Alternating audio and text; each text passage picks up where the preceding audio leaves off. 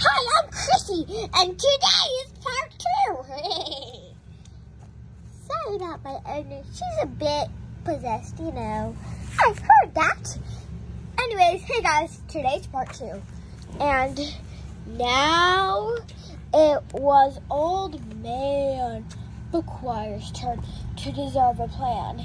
He went to the general store and bought supplies. Ooh, that's good. He bought lasers and clamps, right? Mm-hmm. He bought wires and springs. Oh my god, this does not sound too good. Wires and springs, I meant. He bought all sorts of tools. He built a verbal, verbal, right? Keep going. Uh-huh. Verbal forest, Mm-mm.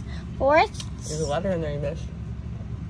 fortress Uh-huh. uh-huh. around the bird feeders.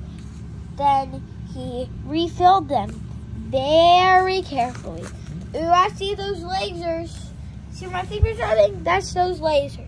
Those Yeah. little red lines. What'd the birds do? Wait, what'd the birds do? Go back.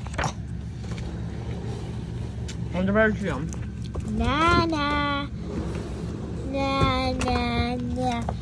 snorted the bird. Moogle.